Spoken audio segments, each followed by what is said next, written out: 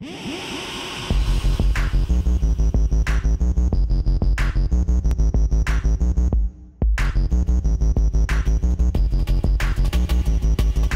excited about showing you uh, some really cool ideas that I came up with with this beautiful uh, gimmick. Not just a gimmick, it really is a utility device.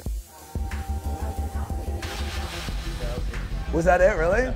I want to give you guys this as a souvenir. It's kind of a weird situation, so I'll tell you what we'll do. Let's see if we can do this, watch.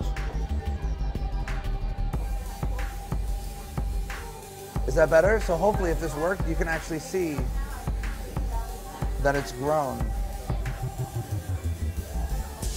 Which doesn't doesn't make sense to even have the tape on anymore, does it?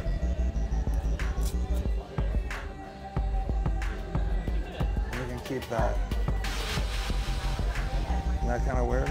It's kind of crazy. That is pretty cool, isn't it? It's really crazy, but look, check this out. It looks like it's actually, the closer it gets, it looks, it looks like it's restoring, doesn't it? I mean, it looks that way. It's not really happening, obviously. I mean, if it were to really restore, I could just kind of do that and it wouldn't actually restore. It doesn't always work, but sometimes it does. You can see the signature. Look, if I just shake it like so.